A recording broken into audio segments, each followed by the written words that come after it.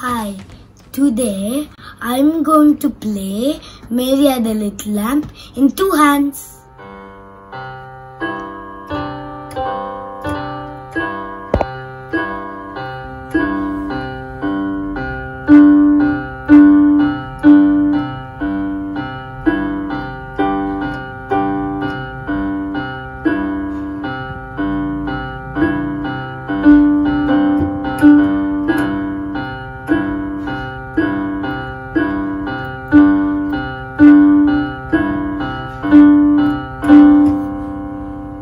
Thank you for watching. Do like my video.